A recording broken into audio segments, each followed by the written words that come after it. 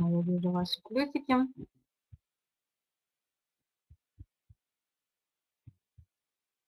Здорово. Я рада вас приветствовать на сегодняшнем вебинаре. Меня зовут Орлинская Алена. Я директор компании Рекру. С компанией сотрудничаю давно и достаточно успешно. Сегодня у нас будет не совсем обычный вебинар. Он будет не практический, да, он будет мотивационный, но в нашем бизнесе без мотивации никуда, без мечты никуда. Да, как говорится, человек без мечты, как птица без крыльев, да, летать не может. Да, поэтому будем с вами мечтать, летать и, конечно же, поговорим о том, как не только мечтать да, и витать в облаках, а о том, как свои мечты воплощать, воплощать в жизнь. А, давайте небольшую такую перекличку в начале вебинара. А, напишите, пожалуйста, в чат, из каких вы городов и как давно вы в Oriflame. Возможно, вы новичок, возможно, вы менеджер, да, возможно, вы директор. Да, напишите, на каком вы сейчас стадии развития в нашей компании и из какого вы города, нам друг с дружкой тоже познакомиться. Рыбинск, лично я из города Иваново, Москва, Омск, Якутия.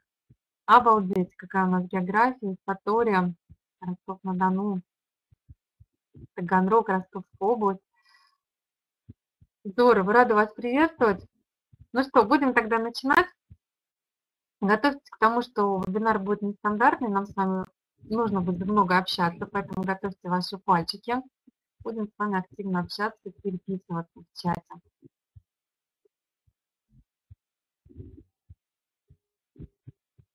Если у вас мечта, а, да, вы пришли на такой не совсем обычный вебинар про мечту, а, давайте так с вами договоримся. Кто не стесняется, напишите, пожалуйста, в чат, какая у вас мечта. Кто стесняется, просто напишите, что мечта у вас есть. Почему спрашиваю? Вы знаете, очень многие в нашей жизни даже не задаются этим вопросом про мечту. Очень часто вот вы идете, например, устраиваться на работу, ведь вас же никто не спрашивает, да, Марья Ивановна, какая у тебя заветная мечта?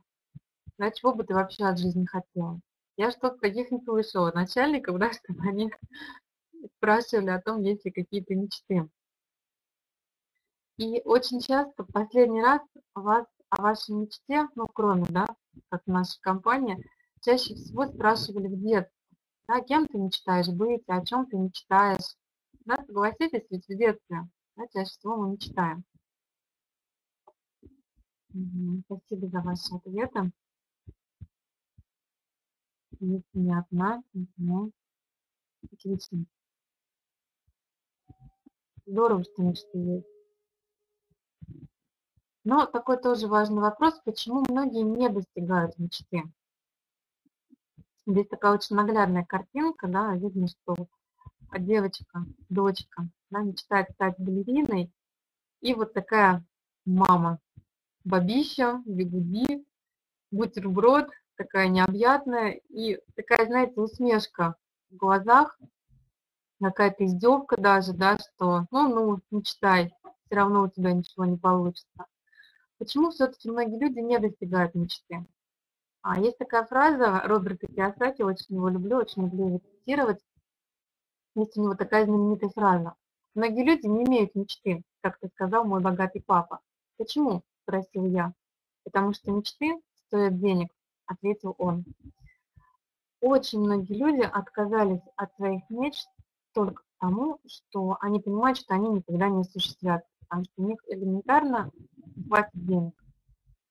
Чаще всего заменились на какие-то маленькие, но реальные. Ведь сложно мечтать, когда у тебя зарплата там 7-10 тысяч рублей. Какие могут быть мечты? Купить новую кофточку, да, это мечта, и то иногда копить надо. Как насчет путешествий, да, я вижу, многие пишут путешествия. Как насчет последней модели Мерседеса? Стоит ли они мечтать, когда зарплата, да, там 7, 10, 15 тысяч, даже 20, тоже не купишь, не, не попутешествуешь особо, да, и Мерседес не купишь. И наверняка вы слышали такие фразы. Сними розовые очки. Вот ставьте плюсики, вот кто эти фразы слышал. Сними розовые очки, вернись действительность. Это не для тебя, у тебя ничего не получится. ты никогда не сможешь это сделать. Вот поставьте плюсики в чат те, кому хоть раз такое говорили. Знаете, самое обидное и досадное, что очень часто нам такое говорят близкие люди, друзья, родственники, знакомые. И самое страшное, если так говорят родители. Вот страшнее нет. Если родители не верят то, что их дети могут быть успешными, то, что у них получится. На самом деле, почему люди так говорят? Да потому что они сами своей мечты не добились. У них не получилось то, что они хотели. И чаще всего именно такие люди будут разрушать ваши мечты. Вот спросите, например, ну, не знаю, у Любы Смоленской. Люба, как думаешь, достигну я своей мечты? Как думаете, что Люба вам ответит? Конечно, да. Потому что у Любы уже мечты сбываются, да, и сбылись многие. Да, потому что она знает путь, как достичь своей мечты. А люди, которые ничего в жизни не добились, они будут вам снимать розовые очки и да, говорить о том, что у тебя ничего не получится. Вот мой вам совет, не слушайте таких людей. Те, кто вам говорят, что у тебя ничего не получится, докажите им обратно, докажите им то, что все у вас получится. И вот я сейчас обращаюсь, наверное, к тем, у кого есть дети. Не смейте топтать их мечты, даже если вам она кажется нереальной, даже если она какая-то неисполнимая, и вы уверены, что никогда это не получится. Пусть ребенок хотя бы постарается. Ему и так в жизни все поставит на свои места, и так его побьет где надо и поставит на место, но ни в коем случае, чтобы это не от родителей чего.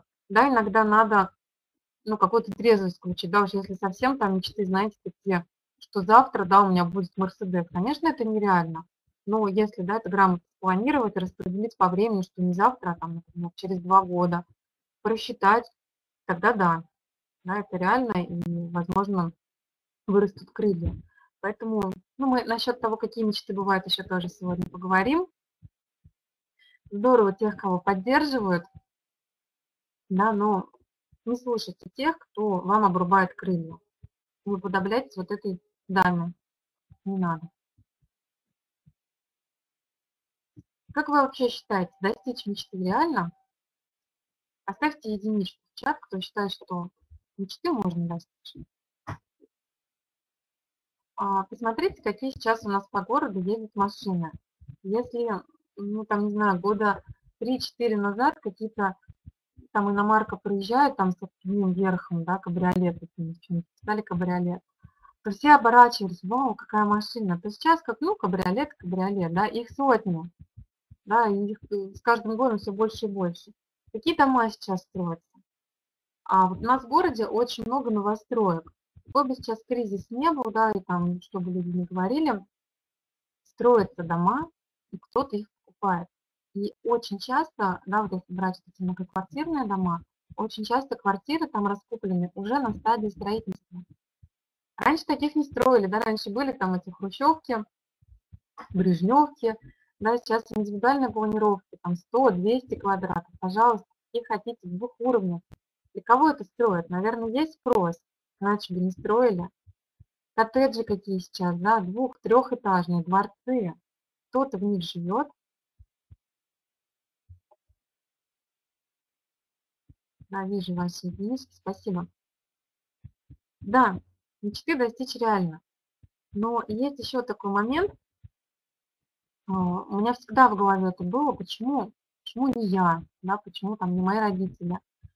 А, не знаю, живем в одной стране, да, вот, может быть, вас такие мысли посещают, вот почему, да, там, кто-то падает в обморок, когда цены на проезд на рубль поднимают, а кто-то живет совсем другой жизнью, да, и даже не парится, да, сколько стоит хлеб и, сколько стоят продукты в магазине.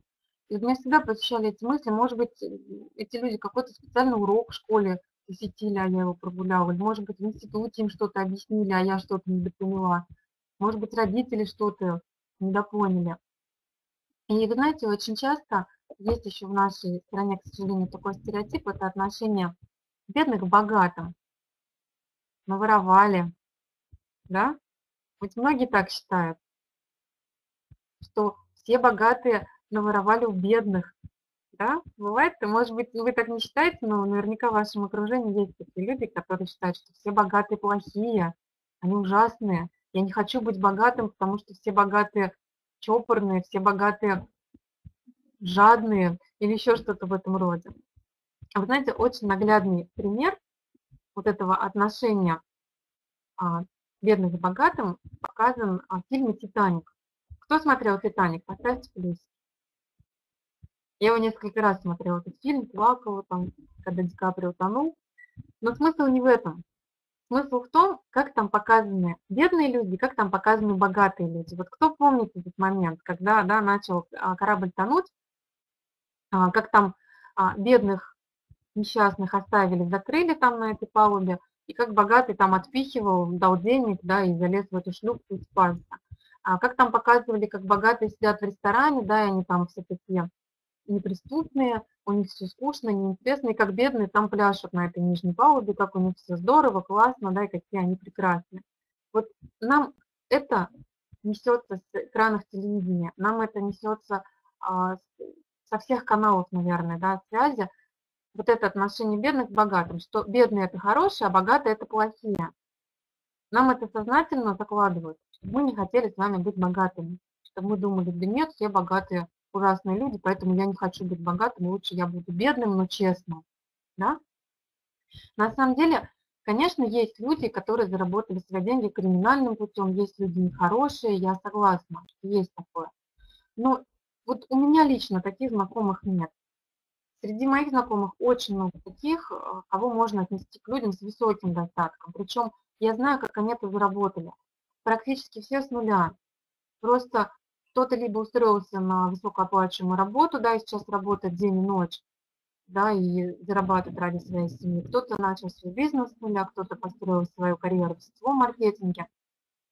И самое главное, что эти люди просто взяли ответственность на себя, не ждали там чего-то от государства. Сейчас полно, опять же, в соцсетях пестрит там а, статусами, там вот ребенка собрать в школу не могу, там предлагается кредит, да, вот недавно наткнулась на такой пост, что там даже рюкзак, да, там 5-7 тысяч предлагается купить в кредит. Вроде что же дальше, там еду что ли в кредит будем покупать?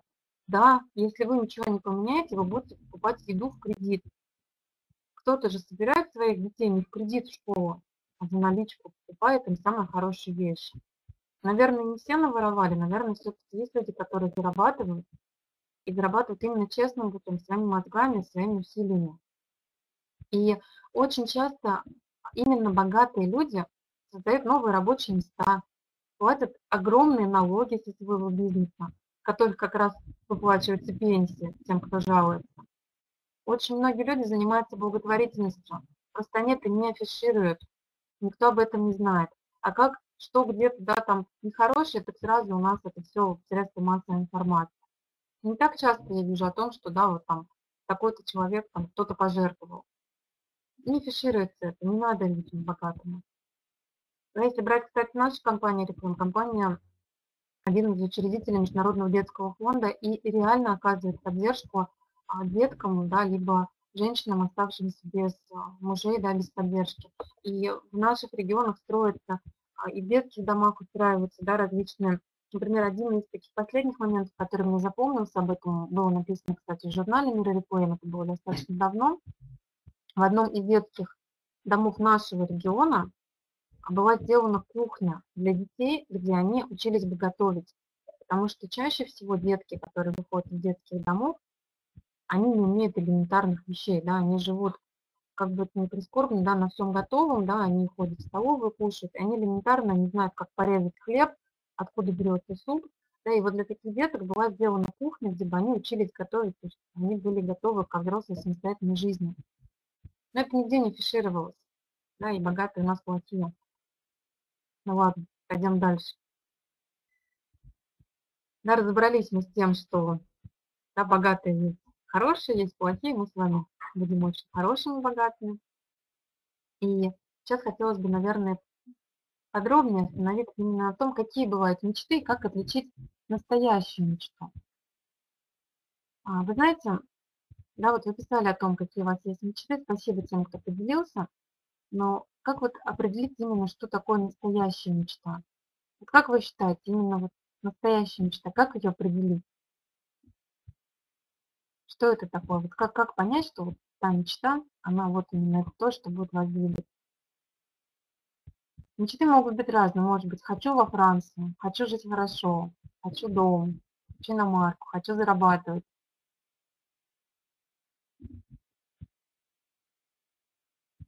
Что-то вы молчите, ладно, не буду вас мучить. Вот ответ. Вы засыпаете, думаете об этом, просыпаетесь, думаете об этом. Это то, что не дает вам покоя, то, что жжет вам руки, ноги и заставляет вас двигаться вперед. Это то, что заставляет вас встать пораньше, может быть, на час, чем вы встаете обычно. Это то, что заставляет вас, возможно, лечь позднее, да, и вы делаете, вы действуете, вы к этому идете, и вы понимаете, что если вы этого добьетесь, вы будете счастливы. Потому что очень часто бывают такие мечты, которые, ну, не ваши. Да? Например, вам муж там сказал, надо бы нам машину поменять. И вы такие, о, опа, вот она мечта, хочу машину. А на самом деле это не ваша мечта, это мечта вашего мужа. А вы на самом деле хотите ремонт сделать в квартире. Найдите именно ваше, то, что будет двигать именно вас, да, а не ваших близких. Да, у каждого может быть своя мечта, даже в одной семье.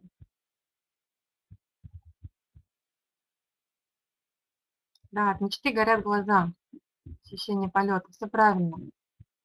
Вы знаете, есть такой анекдот, скажу вам его, да, как понять, мечта или, да, есть такое понятие хотенчик, да, хочу, есть анекдот, хочу в Париж. Все две подруги, одна другой говорит, что-то опять в Париж не хотелось. Вторая спрашивает, а ты что, там была? Я говорю, да нет, просто давно не хотелось. Да, то есть вот это, это не мечта, это так, да, похотелось в Париж, потом расхотелось да, то есть мечта – это то, что вызывает, не знаю, у вас температура поднимается, у вас голос начинает дрожать, да, как, как мы тут смеялись, да, там волосы начинают шевелиться, пар из ушей идет, и вы коп, копытом бить начинаете, да, ну, шучу, конечно, но вы поняли, о чем я говорю. Да, то есть именно такое ощущение у вас должно быть от вашей мечты. Причем, знаете, мечты бывают иногда такие не слишком глобальные. А, вы знаете, однажды ко мне пришла девушка, я говорю, вот чего ты хочешь? Она говорит, сапоги хочу. И вот вы знаете, вот в процессе нашего общения я поняла, что она эти сапоги так хочет, что она ради этих сапог готова вообще горы свернуть. Да, в итоге она и на сапоги заработала, да, и еще на ремонт новый, да, и на машину. Да, а хотела это всего лишь сапоги. Вот, поэтому, да, мечтайте. Мечтайте правильно, мечтайте по-крупному. Да, как я уже сказала, да, засыпаете, думайте об этом, просыпаетесь, думайте об этом. Меня не видно, потому что у меня выключена камера. Как вы считаете, какими качествами надо обладать, чтобы достичь своей мечты? Напишите, пожалуйста, в. Поделитесь, как вы считаете.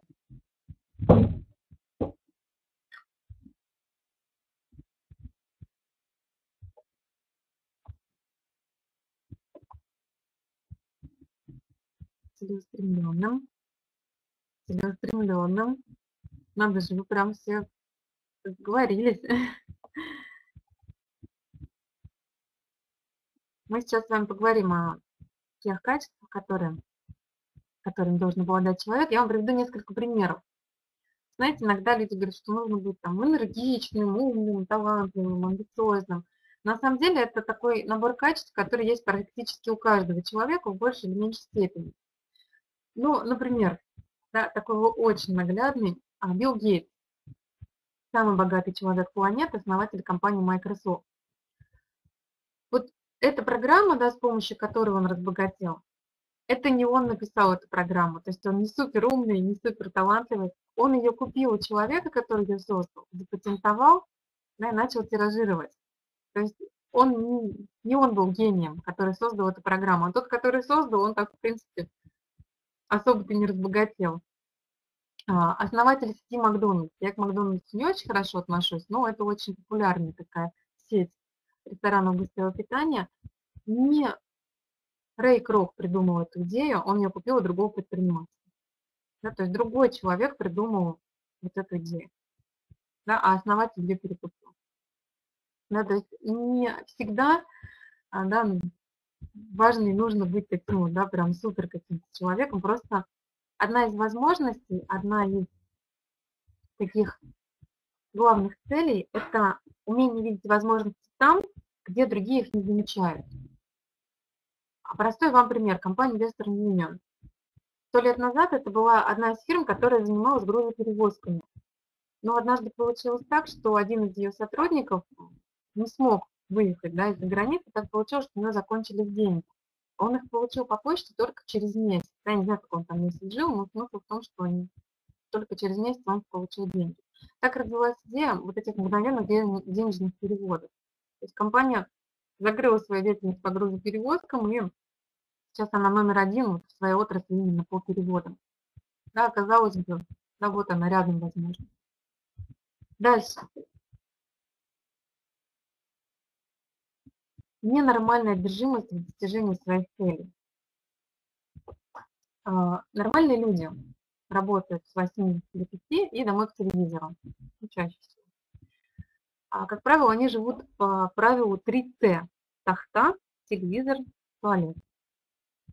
Ненормальные люди – это такие люди, которые готовы с утра до вечера работать, но зато потом они садятся в свой собственный самолет и куда-нибудь летят загорать, отдохнуть, покупаться, фруктов поесть с дерева, а не из магазина. Это ненормальные люди, да, и одержимые в достижении своих целей. Ну, вот представляете такая ситуация, да, как понять, нормальный или ненормальный. А, да, звонит вам подружка, например, ваша, говорит, пойдем в кафе, посидим, поболтаем, давно не виделись. Я говорю, нет, слушай, у меня вебинар сегодня в это время, я не могу, я пойду, мне нужно где-то посетить обучение. Ну ладно, давай в другой раз. В другой раз она вам звонит, вы говорите, ой, нет, у меня, сказать, собеседование, я не могу, да, мне сейчас важно это сделать. Потом, давай другой раз. Ну, давай. На третий раз вам она звонит, вы говорите, ой, у меня планерка в скайпе, я не могу. Она говорит, ну какая-то ненормальная стала. А, значит, у вас все нормально. Да, значит, вы двигаетесь в правильном направлении, значит, вы развиваетесь. Да, у нормальных мам нормальные дети, у ненормальных мам, да, они завтракают в Париже, обедают в Риме, на Новый год они едут еще куда-то, да, на день рождения в Диснейленд. Да, вот это ненормальная мама. Да, я сейчас именно в хорошем смысле вам сейчас, ребят, говорю, поймите, да, что не нужно там, чтобы у вас съезжала крыша, да, конечно же, в первую очередь, да, мы выполняем какие-то свои основные обязанности, и, естественно, да, мы двигаемся вперед к своей цели, к своей мечте. Вот если вас жжет эта мечта, вам будет все равно, что о вас думают окружающие. А вы найдете время, вы найдете возможность, и вы этого добьетесь, несмотря ни на что. Следующее качество – это огромная работоспособность. Вот только не говорите, что я не могу, я устала, а мне некогда. Значит, это не ваша мечта. Если у вас нет работоспособности, значит, мечты у вас нет. Вы знаете, если вспомнить, как работали наши родители, как работали наши папы, бабушки, я вот сейчас вспоминаю, меня мама в садик отдала, я не знаю, мне годик там небольшим был, меня отдали в ясли, мама пошла работать, потому что нужны были деньги. Она работала каждый день, и я помню, что даже на школьные какие-то собрания у меня сестра старшая ходила, потому что мама постоянно работала. Представляете, какая работоспособность? А наши бабушки там вручную копали гектары картошки, это сейчас уже там комбайны, да, там какая-то техника уборочная. Да, раньше вручную в колхозах собирали, пахали, а, там на лошади как-то с утра до ночи, пока солнце не сядет. Но здесь, кстати, хочу а, заметить такой важный вопрос. Важно работать не только много, но и в правильном направлении. Если вы сейчас пойдете вручную убирать картошку с поля, я не думаю, что вам это даст достижение вашей мечты. А если вы будете инвестировать свое время в развитие вашего бизнеса, то, поверьте, достаточно через короткий промежуток времени у вас уже будет результат, и вы уже будете а, получать свои деньги, получать свой доход. Согласны со мной? Поставьте плюс. Работоспособность – это одна из таких важных задач и важных качеств. Отлично, вы здесь, а то я говорю, говорю. Перейдем дальше. Успешные люди никогда не сдаются. Никогда. Томас Эдисон, очень знаменитый человек. Кто знает, чем он знаменит? Томас Эдисон. Напишите, пожалуйста, в чат.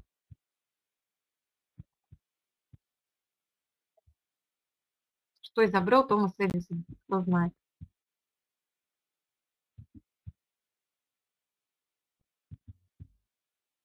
Немножко. Ага, отлично. Томас Эдисон изобрел лампочку электричества. И вот его слова, да, наш большой недостаток в том, что мы слишком быстро опускаем руки. Но более верный путь к успеху – это все время пробовать еще один раз. Как он сам говорит о том, что 999 а, да, вот этих раз, когда лампочка не зажглась, он говорит, я знаю 999 способов, как эта штука не работает. Да, представляете, если бы он отступил там, не знаю, на 500 раз или там на 800, да, только на тысячном эксперименте лампочка загорелась. И мы бы сейчас, не знаю, может быть, до сих пор при свечах сидели, если бы не его упорство, да, если бы не его а, жажда к успеху и жажда к тому, чтобы достичь чего-то нового. Да, вы многие, кстати, писали про упорство, да, вот как раз здесь вот как раз об этом я говорю. И знаете, еще очень важный момент, иногда а, многие люди бьются в стену, когда рядом есть дверь. А, не всегда да, работает то, что работало раньше, поэтому смотрите по сторонам, смотрите какие-то новые возможности. То есть Томас Эдисон, он же не одно и то же, да, каждый раз зажигал, он каждый раз что-то добавлял, убавлял, да, то есть смотрел какие-то варианты. Поэтому задача упорства проявлять именно не в том, что вы делаете одно и то же, оно вам не дает результат, а в том, чтобы быть гибким, да, искать другие варианты, при которых да, ваше, ваше стремление будет работать. Успешные люди ценят свое время и не тратят его на мелочи. Да, мы уже к вопросу времени да, немножко затрагивали его, да, что мне некогда, да, у меня там дети, семья, еще что-то, родители.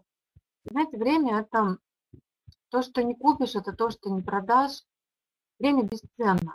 И только вы решаете, как распоряжаться своим временем максимально эффективно. У вас каждый день, у каждого человека есть одинаковое количество времени. Просто вопрос в том, как мы им распорядимся, как мы его потратим. Да, какие у нас есть воры времени. Телефон. Я сейчас имею в виду не деловые звонки, да, там, например, собеседование по телефону проводите с партнерами созваниваете, а именно пустые разговоры. А вы знаете, очень часто пустые разговоры бывают там, с подружками, да даже с родителями порой, да, вот маме я иногда звоню, да, она вот мне начинает там, или я ей начинаю там какие-то рассказывать, перемывать кости, да, что я к тебе там узнала, прочитала, там какие-то сплетни. Я себя ловлю на мысль, что даже 15 минут я не готова их тратить вот на какую-то ерунду. Я лучше соберусь, поеду маме попью с ней чаю, посмотрю ей в глаза, или поговорю с ней вживую, да, я там лучше раз в неделю к ней нормально съезжу, поговорю, чем я буду каждый день там по часу, там по два а, что-то там перетирать. Да, поэтому телефон и полезный, и в то же время опасная штука. Да, то есть я вообще за личное общение, я не очень люблю вообще разговаривать по телефону, я лучше съезжу или приглашу к себе в гости, да, или поговорить живой с человеком. Интернет. Интернет я сейчас имею в виду опять же, не наша с вами деятельность, да, мы с вами используем время рационально. Например, какие-то игры, просмотр ленты новостей. Вот я, например, не очень люблю Одноклассники за то, что там заходишь, там сразу новости. Контакт хотя бы заходишь, там на свою страницу попадаешь. А там сразу же вот эта лента, у кого что произошло. И вот волей-неволей глаза цепляются да, за какие-то, кто женился, кто развелся. Это еще ладно, если да, какие-то новости знаешь, а очень часто много мусора и пустого какого-то, ну не по делу, просто вот какой-то ерунды, да, какие-то, не знаю, негативные очень часто мысли в интернете.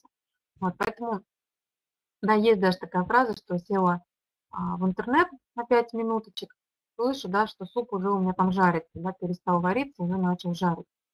Да, может быть, вы себя ловили на таких мыслях, да, что 5 минут в интернете иногда превращается в полтора часа бесцельного времяпровождения, бессмысленного и бесцельного. Мысли не по делу. Знаете, есть такая притча да, про стакан с водой. Да, один из профессоров перед своими студентами а, взял стакан с водой, налил, налил стакан воды, взял его в руку. И спросил, как вы считаете, тяжелый стакан? Все хором ответили, нет. А если я буду держать его час, два, три, неделю, рука отвалится. Вот очень часто мы какие-то, знаете, негативные мысли гоняем туда-сюда, а начинаем, вот, вот она мне так сказала, вот она мне на ногу наступила в транспорте, и вы начинаете там целый день продумывать план вместе. А вот надо было ей так сказать, а вот надо было ей в ответ наступить, а вот надо было ей извиниться. знаете, таких мыслей, их очень много может быть. Не по делу, они вас разрушают, они тратят ваше время. Да, отключитесь от этих, да, каких-то непонятных мыслей, и лучше включите мозги правильное русло, и как вам развивать бизнес, да, как вам там, не знаю, уделить время больше семье, да, ищите правильное место, не надо не делать. Телевидение, пресса. Ой, это вообще просто. У меня телевизор дома есть, но у нас не подключена антенна телевидения. У нас телевизор стоит для того, чтобы просто был большой экран, и мы иногда смотрим фильмы по интернету находим и через телевизор их смотрим. Либо вебинары какие-то, да, через телевизор можно смотреть на большом экране. На самом деле, я не знаю, ни для кого, наверное, не секрет, что все новости не заказные. Все абсолютно. Вам никогда не расскажут, что все хорошо. Да, вот здорово, я знаю, что есть такие люди, которые не смотрят телевизор. Отключайте, оно вам не нужно. Как мне мама говорит, как же, а вдруг война, а ты не знаешь. Я говорю, поверь, я одна из первых об этом узнаю, потому что у нас бизнес информационный, у нас тут же что-то напишут в чате, тут же что-то выставят в социальных сетях, да, я порой какие-то новости узнаю раньше всех остальных. Молодцы, вот кто не смотрит, прямо я респект вам. А, потому что вот обратите внимание особенно на новости. Когда в последний раз по телевизору показывают что-то хорошее. Я прихожу к маме в гости, она смотрит телевизор, смотрит новости, я, конечно, за это ругаю, но мы тут как-то на днях, да, были, ведь что показывают? Упал самолет, там война, а, там этих паралимпийцев на Олимпиаду не выпустили, да, вот один негатив, там кто-то убил кого-то, то задушили, то еще что-то. А, нас зомбируют на страх смерти. Люди начинают бояться и понимают, что, ой, Диди, у меня вроде бы не так все плохо. Да ну подумаешь, зарплату задерживают, ну подумаешь, там ребенок двойку принес. Зато мы живые, зато мы в самолете не разбились. Да, вот такие мысли людей посещают. Поэтому отключайтесь от этого, не надо. И пятый, да, это общение из вежливости. Умейте сказать «нет». Жесткое, твердое, вежливое «нет». Потому что это общение из вежливости, знаете, иногда в социальной сети начинают там что-то писать, да, только девочки непонятные, то мальчики какие-то пишут, там, привет, как у тебя дела? Я не знаю этого человека, какая ему вообще разница, как у меня дела? Да, то есть не тратьте время, я пресекаю вообще такое общение бессмысленное, да, если там я, ну, я не знаю, зачем мне человек там пишет или звонит, например, порой бывает, да, там просто так. Я не общаюсь с такими, я пресекаю. И вам совет не тратить свое время. Следующий. Успешные люди мечтают по-крупному. Знаете, есть такое понятие, да, что вот то, что вы во Вселенную посылаете, то вам возвращается. Если вы ставите перед собой задачу, ой, насчет поехать сейчас тоже расскажу еще этот момент, да, вот про крупные мечты. Если вы ставите перед собой задачу, а, заработать 2000, вот вам не хватает 2000 там на что-то. Как думаете, заработаете 2000? Уверена, что найдете варианты, где-то там заколымите, где-то что-то перепродадите, но вы эти 2000 заработаете. А если вы поставите себе задачу заработать 20 тысяч, как думаете, заработаете? Возможно, чуть подольше, чуть посложнее, но вы их заработаете. Если вы поставите себе задачу заработать 200 тысяч, поверьте, вы и их заработаете. Мозг решит абсолютно любые задачи, которые вы перед ним ставите. Большинство людей просто не ставят себе такую задачу. Они довольствуются тем, что есть, и еще иногда жалуются на то, что есть. Нужно благодарить а, судьбу, благодарить Вселенную, Бога за то, что у вас есть. Вы живы, у вас две руки, две ноги, вы здоровы. А, и благодарите за это. И ставьте себе большие задачи. Потому что если вы не будете ставить такие задачи, вы тем более не заработаете. Ну, смотрите, хотите вы зарабатывать, например, 200 тысяч, а заработали 100. Ну, наверное, расстроитесь или не очень. Да, есть такая фраза, что всегда цельтесь в Луну. Даже если вы промахнетесь, то все равно останетесь среди звезд. Ставьте себе большие задачи. Да, там заработать 200, 300, 500 тысяч. Если вы начнете зарабатывать 50, вас уже это обрадует. Наверняка многих. Да, я не знаю, какие у вас амбиции. Поэтому ставьте своему мозгу больше задачи. А насчет куда-то поехать. Вы знаете, у меня был недавно такой диалог а, с одной девушкой. А, я ей говорю, о чем ты мечтаешь? Она такая, ой, да я не знаю. Попыталась из нее выудить. Я говорю, куда на лето поедете? Ой, никуда не поедем. Я говорю, а чего такое, что случилось? Ой, сейчас везде опасно, везде война. Нет, нет, мы никуда не поедем, с детьми тем более нет, мы будем в городе, это безопаснее. Представляете, насколько людей запугали вообще, что они даже боятся мечтать куда-то поехать. Я говорю, а где сейчас страшно? Ну вот в Крыму, например. Я говорю, не знаю, мы две недели в Крыму были, все там мирно, тихо и спокойно. Ой, не знаю, мне вот рассказывали вот то-то, то-то. То есть, представляете, да, то есть люди, даже не зная, не ведая вообще, что там происходит, у них такое мнение. Да, то есть, насколько люди зазомбированы, запуганы, не будьте такими ради Бога. Но если вы здесь, я уверена, что вы не такие. Следующее качество успешных людей людей, которые достигают своей цели, достигают своей мечты, успешные люди постоянно учатся новому. Вот такая наглядная картинка. Самое страшное, что вы можете сказать, я это уже знаю. Нет, ребята мои, учиться нужно всегда и постоянно. Особенно сейчас. У нас настолько век даже не информационный, а суперинформационный, что если вы что-то новое не узнали, все, вы отстали от жизни. А если вы не следите за тем, как меняется мир, не пытаетесь это осмыслить, не пытаетесь к этому адаптироваться, вы начинаете деградировать. И это огромное заблуждение, что, да, вот там раньше, да, в 90-е годы новые русские, что это необразованные, да, там какие-то не очень воспитанные люди. На самом деле, вот те, кто необразованные, невоспитанные, они остались без денег в итоге. Именно умные, воспитанные, образованные люди, они постоянно учатся новому, и они добиваются успеха. В нашем бизнесе очень часто, да, вот в Крыму, да, нам тоже, Ленар, нам очень понравилось, а, очень часто, вот на вебинаре сейчас, вот я даже смотрю по фамилиям, люди, которые уже определенных успехов добились. А зачем они здесь? Да, для того, чтобы зарядиться энергией, для того, чтобы получить что-то новое, для того, чтобы получить новую информацию. Особенно в интернете мир не стоит на месте, да, что постоянно развивается, постоянно новые методы работы, постоянно а, какие-то новые фишки, новые программы. И если вы работаете по-старому, если вы, как некоторые еще начинают, вот, раньше там колбаса 25 копеек стоила. Еще чего вспомнили, да, если да, вспоминать, как там жили при Советском Союзе, да тогда тоже не все гладко было. Это сейчас там начинают вспоминать, вот там то было, все было. Я вот у мамы спрашиваю, она говорит, да ничего не было, дефицит был. Продуктов не было в магазине, одежды не было, все было одинаковое, серое. Сейчас мир совершенно другой, есть все. Денег только у людей нет, но заработать их можно.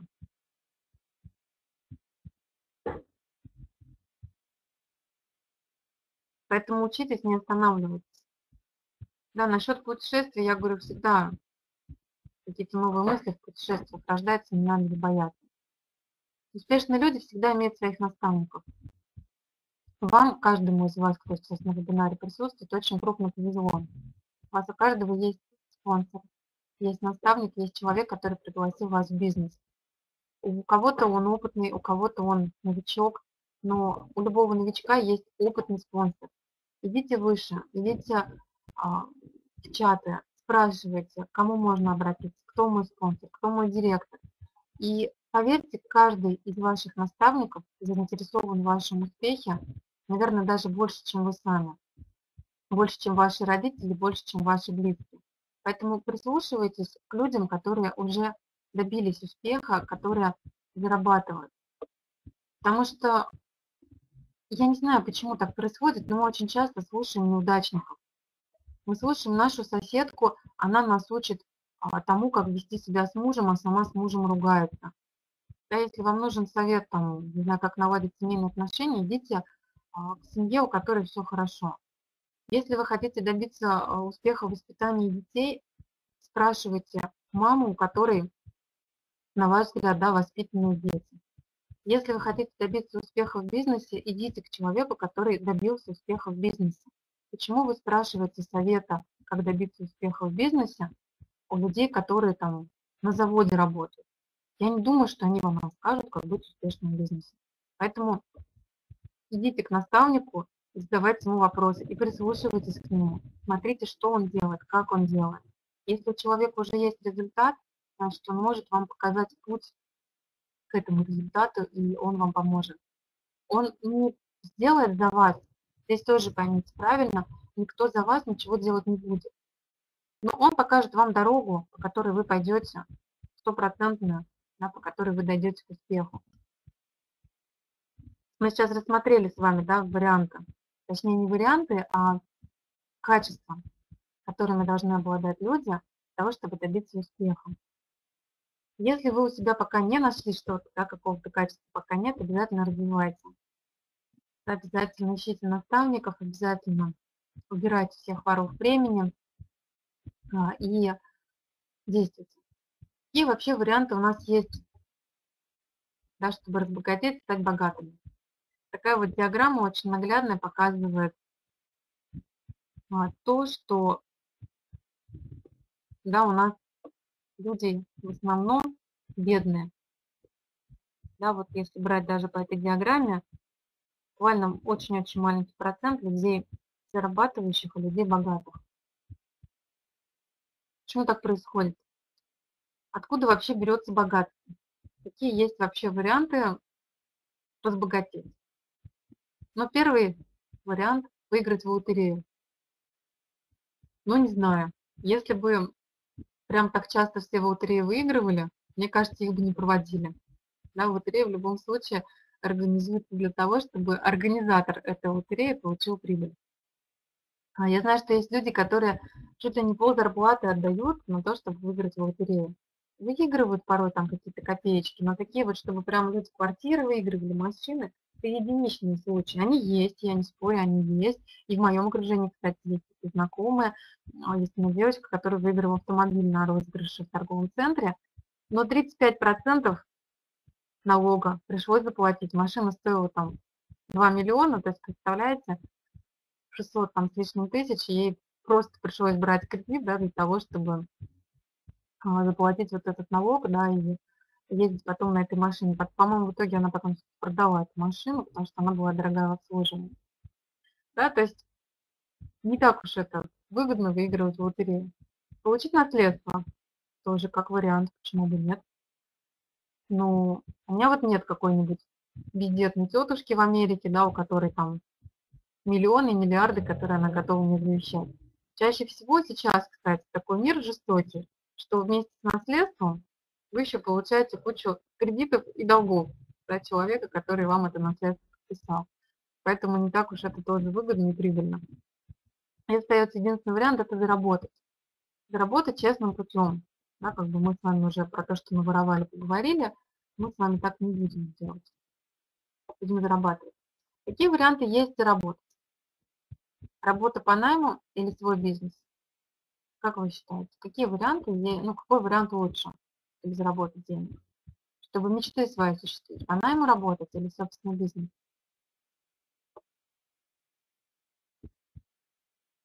Вы знаете, очень много людей в любой стране мира, не только в нашей, 99% людей, работающих по найму, постоянно испытывают нехватку денег. Постоянно. Постоянно нехватка времени на семью, на детей, на отдых. Очень часто бывает такой парадокс, что либо есть деньги, но нет времени деньги потратить, либо время есть, но нет денег. Да, вот чаще всего у людей, работающих по найму, именно такой парадокс никаких сбережений нет, то есть живут от зарплаты до зарплаты. Даже люди, которые высокооплачиваемые сотрудники, они тоже, они платят, кстати, очень большие налоги. У нас в России, да, считается 13% подоходный налог. От большой зарплаты это большие суммы. Да, вот человек 100 тысяч зарабатывает, 13 тысяч он дает только налогом. Представляете, какие суммы? Кто-то 13 тысяч только зарабатывает, а кто-то налогом только дает. И, по сути, наемный труд крайне редко оплачивается высоко, потому что очень легко заменить. Не нравится, пошла вон. Мы другого возьмем, другого наймем. Да, высоко ценятся только какие-то, ну, действительно, высокие должности, да, то есть действительно люди с какой-то смекалкой, с каким-то креативным подходом. Ну, да, там, с золотыми руками, да, такие тоже люди есть. Но очень часто могут подсидеть, могут, а, да, там, вот вы занимаете какую-то хорошую должность, а у вашего начальника подрос племянник. И этот племянник вообще, у него ни опыта, ни знаний, ничего нет, но его возьмут на вашу должность, потому что он племянник. И зачастую это сплошь рядом. Это причем не только где-то в, на каких-то заводах, на предприятиях, это и в армии, да, военные точно так же протаскивают своих родственников и близких людей. Да, то есть, казалось бы, да, вроде бы государственная организация, но нет. У нас в последнее время даже все решают, наверное, больше связи, а не деньги. Единственная альтернатива, да, я вижу, пишется собственный бизнес, действительно это бизнес. Но опять же возникает еще один вопрос. Традиционный бизнес, обычный, или сетевой бизнес? Как вы считаете? Традиционный, обычный или сетевой?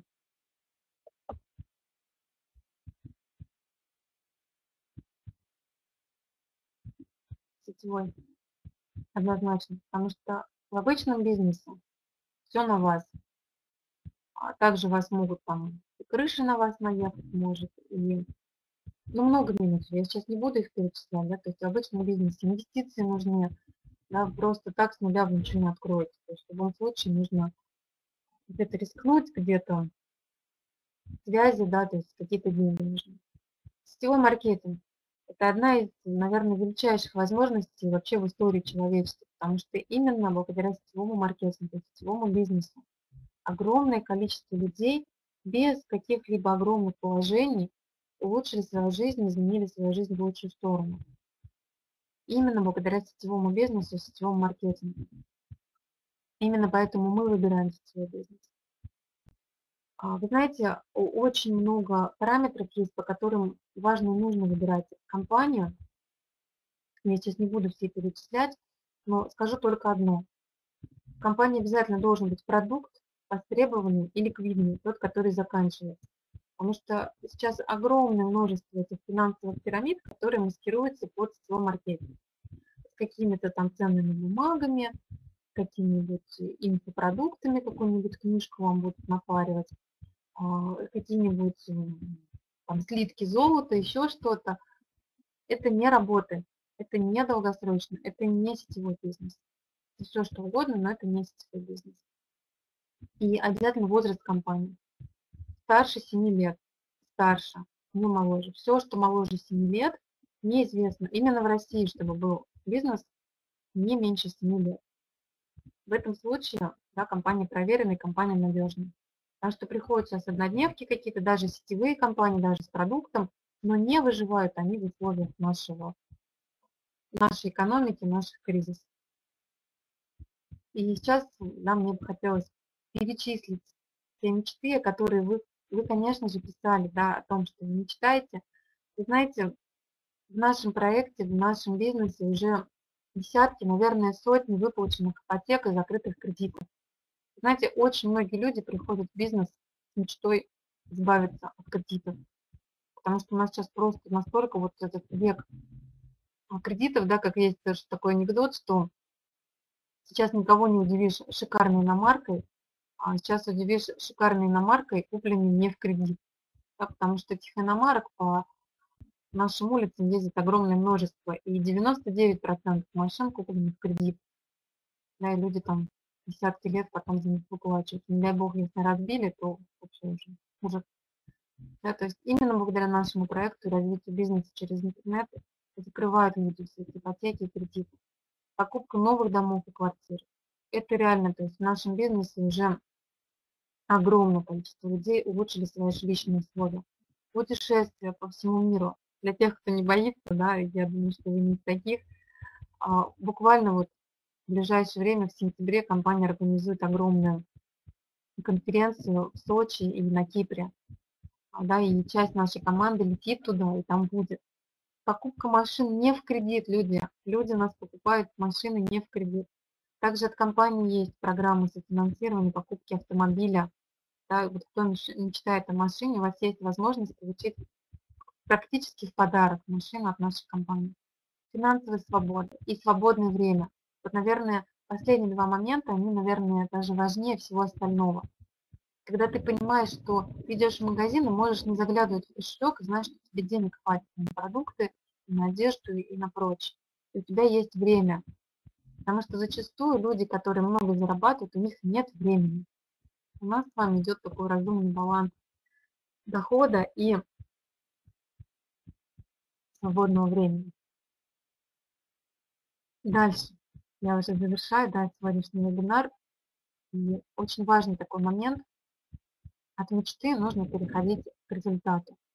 Таким образом, здорово, что у вас есть мечта. Да, вы писали о том, что у вас есть мечта. Мечта должна перейти в цель. То есть мечта это, например, просто там хочу в Париж. Цель это я поеду в Париж в марте 2017 года на 7 дней. Вот это уже цель. План – это то, как вы будете этого достигать. Вы знаете, сколько стоит эта поездка, да, например, там, поездка в Париж на 7 дней в марте стоит, ну, к примеру, 50 тысяч. Я не знаю сейчас точно, да, я просто приведу пример. Стоит 50 тысяч. Да, у нас сейчас, например, ну, сентябрь уже фактически, да, до марта получается, да, там, сентябрь, октябрь, ноябрь, декабрь, январь, февраль, март. 7 месяцев до марта. Да, соответственно, чтобы заработать 50 тысяч за 7 месяцев, делим 50 на 7, получается, ну, где-то по 7 тысяч. Ну, примерно, да, сейчас с калькулятором не посчитаю. Ну, примерно, да, по 7 тысяч в месяц вам нужно откладывать на свою мечту. Соответственно, зарабатывать вам надо больше, да, потому что если будете все откладывать на мечту, как же вы будете жить? Да, вы посчитали, что вам там в среднем на, да, на то, чтобы прожить, надо 20 тысяч. Да, значит, вам нужно зарабатывать 27 тысяч, чтобы на 20 вы могли жить, 7 вы могли откладывать. Дальше вы переходите от этого плана к действию. Как вам зарабатывать 27 тысяч рублей? 27 тысяч рублей – это доход старшего менеджера в каталог в 3 недели. Чтобы выйти на уровень старшего менеджера, необходим объем продаж 250 тысяч рублей. Примерно 50 активных человек в команде, которые сделают по 150 баллов. Вот вам, пожалуйста, да, вы переходите уже к действиям. Да, вы начинаете приглашать людей, обучать их, делать то же самое.